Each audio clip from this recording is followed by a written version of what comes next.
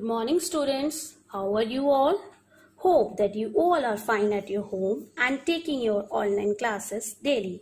So let's begin our studies.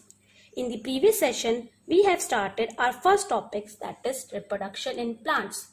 Today, we are going to study sexual reproduction in plants.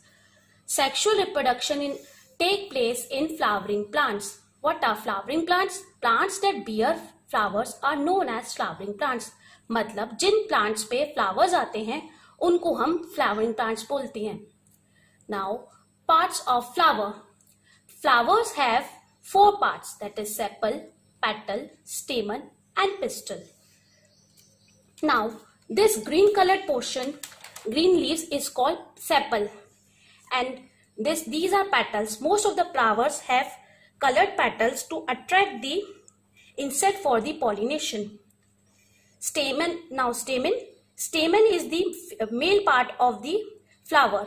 It has anther, it has filament, this tube-like structure is called filament and upper end of the filament is anther that has pollen, pollen grains.